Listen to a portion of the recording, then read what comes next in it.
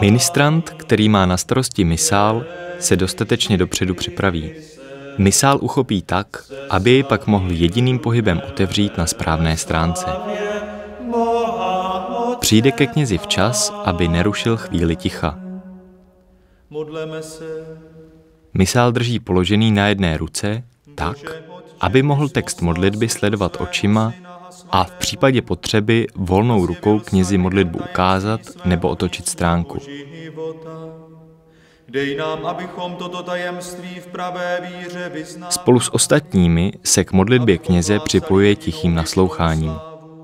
I když závěrečná konkluze již v misále není, ministrant zůstane na místě, aby modlitbu nerušil a odejde až po odpovědi Amen. Našeho Pána Ježíše Krista, neboť on s tebou v jednotě Ducha Svatého žije a kraluje po všechny věky věků.